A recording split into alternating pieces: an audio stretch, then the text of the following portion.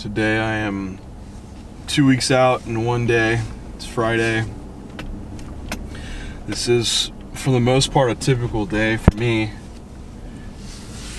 I just get up first thing and weigh myself, um, of course, brush my teeth and put my trunks on and send my pictures take take my pictures I you can see my my setup there for how I take pictures when I'm when I'm by myself is got my like ironing board and I have like a, a cup um, measuring from the from the kitchen just to prop my phone up and you know I I've made all kinds of crazy stuff to make sure I can get get good pictures but I'll, I'll take my pictures every morning. So at this point with Matt and this started last week sending pictures daily and I'll, I send them and we'll see exactly what we want to do for the day and make sure I'm on track and progressing. And even before that I think if five weeks out we are sending weights daily because weight is such a focus for this show. So I'll send that to him and I'll get the plan.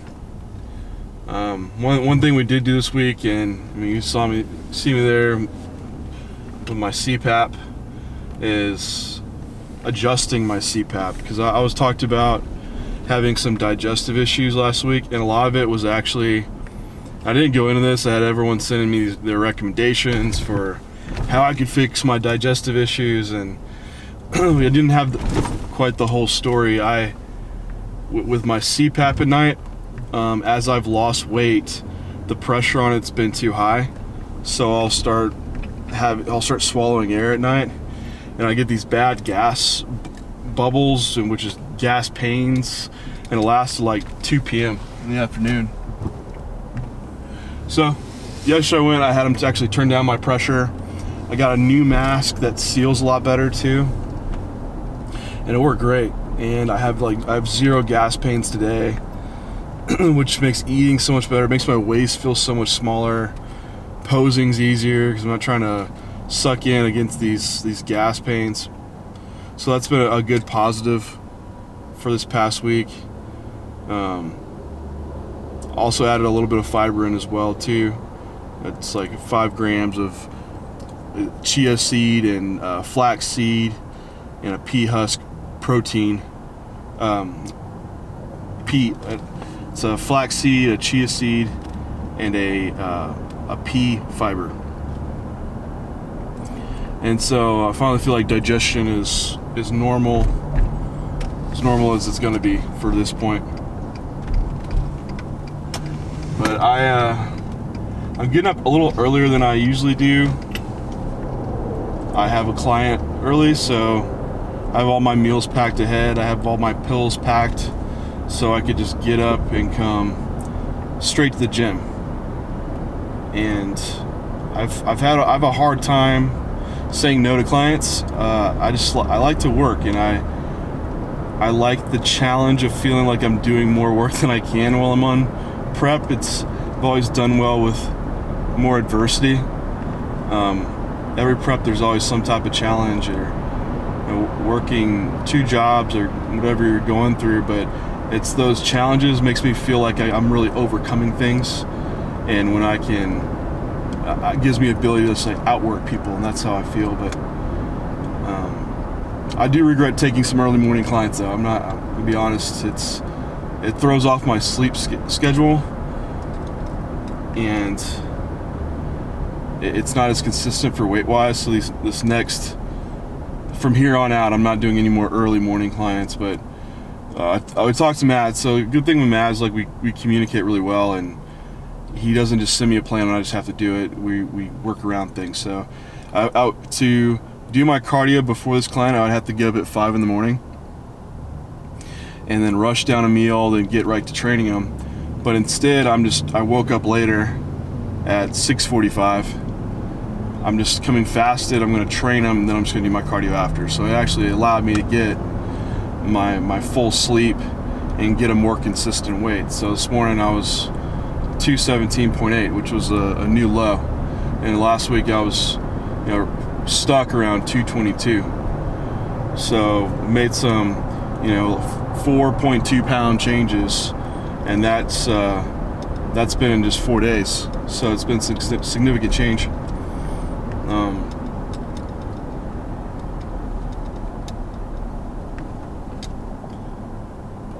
so we'll see how this goes. I, I haven't had to train someone fast. I'm sure I'll be fine.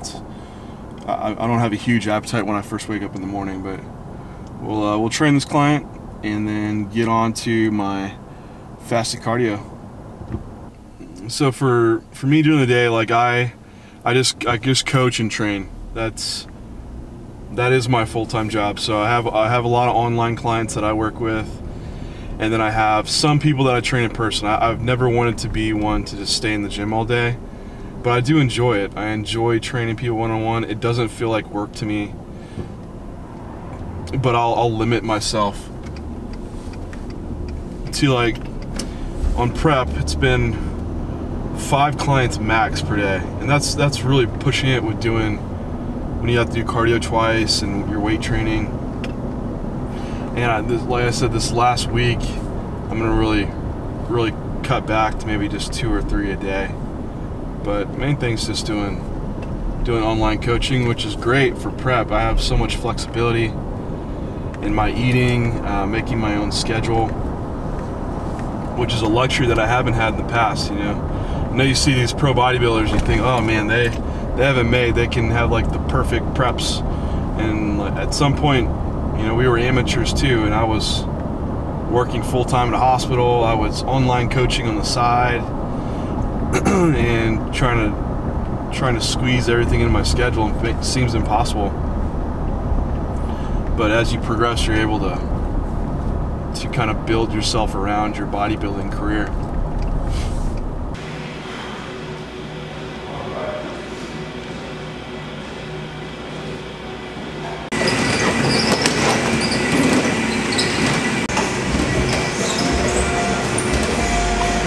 So since Monday, we increased cardio. I was doing 45 morning, 35, 30 p.m. on a level five. So met up to to a level eight, which the intensity is so much greater.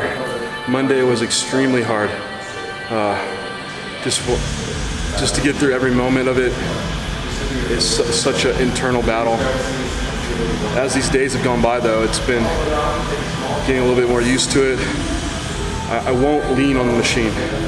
If you lean on the machine, you can see your heart rate drop like 10 beats per minute. you might as well have it a few levels down. So I keep the towel and hold it the whole time to stay upright. But still, every bit of it challenges me the last 10 minutes or just wonder how, how am I going to get through each minute. I do it and it's uh, it's in that those moments when I'm thinking that that's how I'm beating someone else. They're not willing to keep pushing or drop drop a level down, and that motivation it comes internally. You know, people ask me what motivates me, and there's not really an external factor. There's some, but down to it, it's it's internal. It's something in me that uh, that I take great gratification out of knowing my, when my hard work is rewarded. And that satisfaction is, is everything.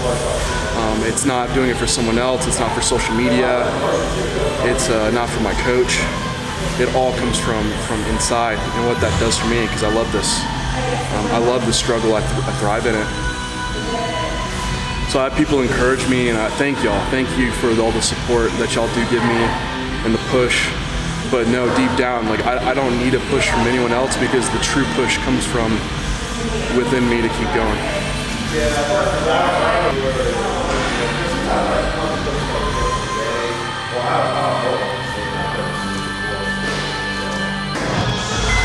like my oatmeal how I like my competition.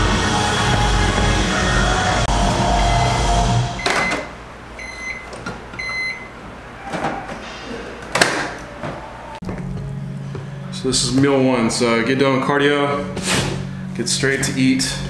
My favorite meal of the day.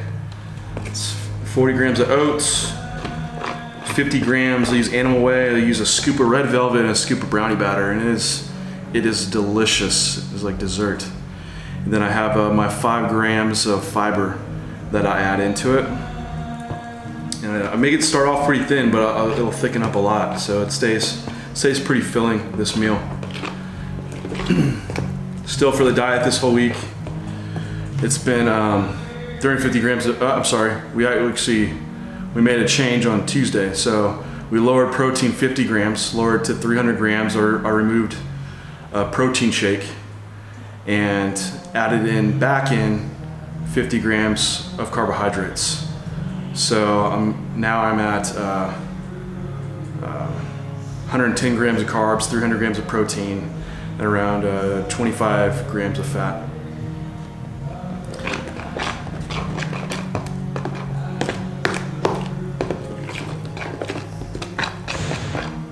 So the thought process on dropping back protein and adding in carbohydrates was um, obviously with where I'm at and having a hard time dropping weight, the protein intake that I'm at easily maintains my body weight. So lowering protein is not going to have a big impact on maintaining muscle. Uh, if anything, we can partition those that new, those calories towards carbohydrate, which will fuel performance more lowering protein will also help stimulate appetite more because protein is very um, has a lot of it's a high satiety food. Then if I'm able to fuel performance and, and train harder, then also just carbohydrate itself will be protein sparing in a sense because once your protein's so high and your carbs are so low, you're using those amino acids to make glucose. So you're just an expensive form of carbohydrate. So you give the body this easy form of carbohydrates, sometimes it'll be a, a little uh, easier to let go of body fat that way. And what I've noticed this week is my, my appetite's increased, you know, and digestion's better for it too, just not having so much, so much protein. And I feel like my training performance is still really good too. Going into these training sessions over my entire prep, the approach has always been the same I've always had my logbook, so I always have a goal in mind. It's it's always very focused, whether eh, for the weight or the reps I'm going to be using, and execution's never sacrificed. So, you know, I, I like having almost like this checklist on prep of, you know, I need to do cardio at, at this duration and this amount of time. And for my vo- training volume, I need to do this many sets and hit this weight and hit this rep. So I have goals to hit on everything. All these things are within my control.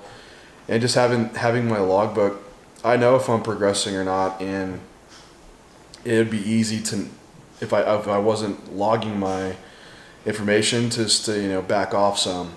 So it's being being two weeks out, just walking, just loading weights. It's all exhausting. It it's so taxing uh, you feel every bit of calorie expenditure that you're having to do extra. So you walk into the gym and just feeling that tired that you're like there's there's no way I can hit these weights again. My strength has to be dropping and you can't let that be put in your head because if you if you believe that mentally that's what will become reality.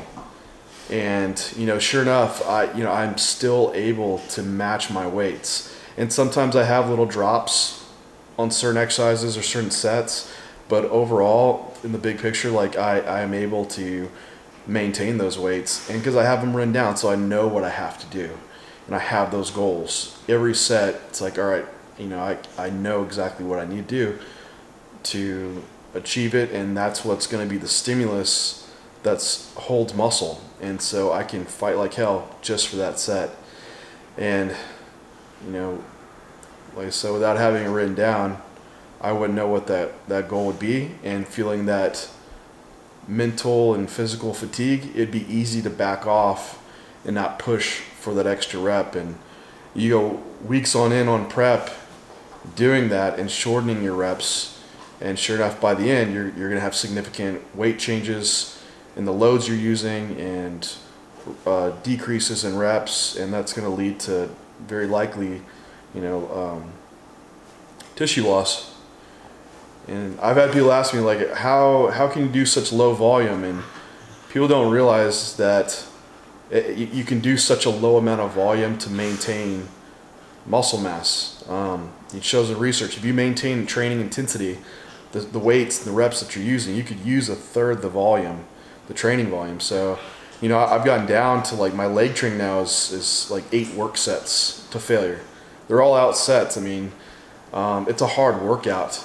And, and I know you see the other guys doing more volume, but they're usually counting their warm up sets into that volume, like five sets of 10 those are build up sets to one all out set. So I'm just counting my, my work sets. But I eventually on prep just get down to the bare bare basics. Just you know, um, if I hit two hard sets and I know that third set's going to be a drop off in strength, then I just I won't go into it.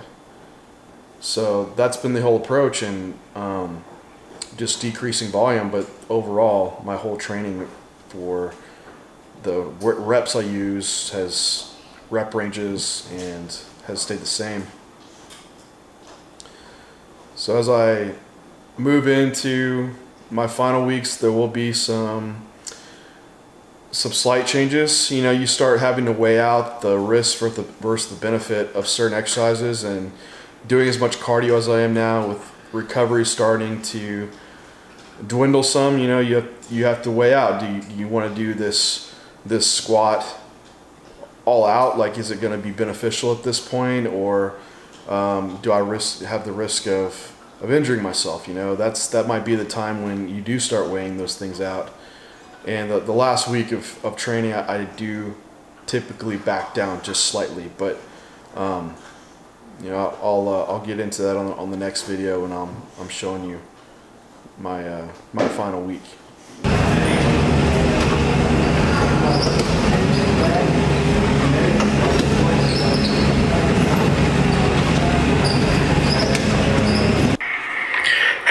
Want you to do a burger and fry meal tonight for your last meal. Um, you've had a really, really good week.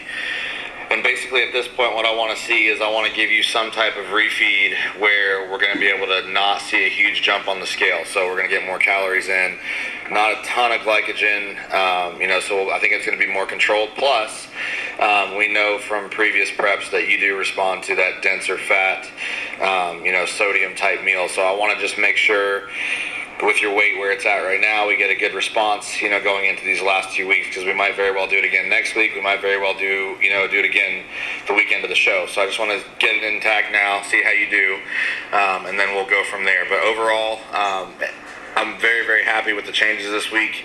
I also think it's, you know, it's, it's, a cool thing, and then I'll be the first to say it. You presented a change to me that um, has definitely worked. All right, so that's that's the plan from Matt. So carry that out. Just have a burger place in mind that I might go to later on, and we'll uh, just use that as my last meal and implement it and see what see what kind of changes happen from there. So typically on prep, I Matt hasn't typically done a lot of cheat meals. We've done some sushi in the past. It's usually been a good go-to just because it's fish, rice, it digests really well. So we stayed away from, you know, foreign foods like burgers just because we can't really use them to refeed the whole time, and you know a lot of times they're you're looking for that increase in glycogen, and so you have more performance out of it. With using a high-fat meal, you don't get that glycogen increase. However, in my situation, you know, Matt, like Matt, he was saying, for a high-fat meal, it's something calorie dense. You typically will burn whatever nutrient that you do consume. So if you eat a lot of fats, you're going to keep burning fat. So that's a good point for right now. Um, also, won't be terribly high in carbohydrates. So we're not going to have this huge weight increase like if I went and ate like you know four or five sushi rolls.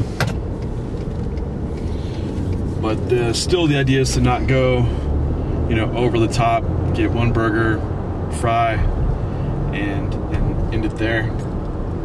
Well, the burger went down, feel pretty full from it. So the only thing about like increasing weight tomorrow possibly is just from just like a heavier set meal.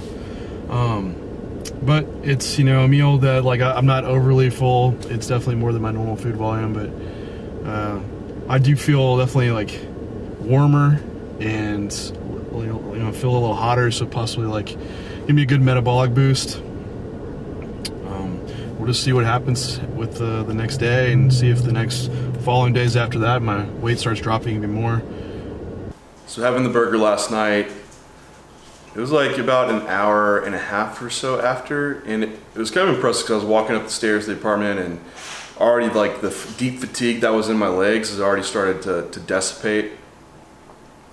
Uh, it did sit really heavy on my stomach, just so I'm not used to eating that food volume. So sleep suffered because of it. I was kind of uncomfortable actually, and didn't get the best sleep. I did wake up at like 3:30, and looked really full. Um, everything was separated really hard. I was really vascular. Uh, The only thing I did notice is like my hands were kind of swollen. It's just from the sodium amount. Uh, it didn't look like it was, it was a detrimental effect, but I know like my weight was going to be up the next day from it, and also just trying to go back to bed. Like heart rate was elevated. I was warmer. Just it was just a large meal, so that, thermic effect of food was pretty high. Um, getting up today, I was 220.8. So I actually I gained three pounds, which was kind of expected. I have it's a lot of lot of food and also a lot of sodium. I only peed like once last time when, when usually I, I go three times. So definitely there's some water retention and that harder look that I had when I woke up at 3.30 it had, had kind of dropped off.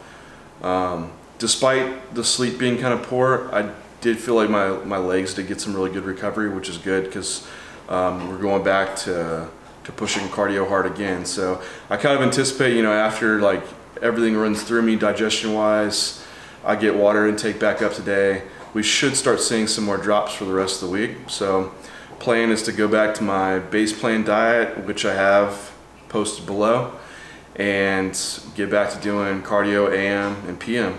And we will check in in one week and see what the outcome is.